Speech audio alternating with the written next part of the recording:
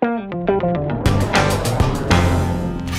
is Vaddio's newest product. Uh, it's called the AV Bridge Matrix Mix. It's our next generation uh, video switcher that is unique on the market. Uh, it is uh, the flexibility that you can use it for uh, a collaboration Skype call, you can use it for a lecture capture application, or you can use it for live production. It's an 8x2 switcher with a multi-viewer output, and you add the control surface depending on the target application you're going after.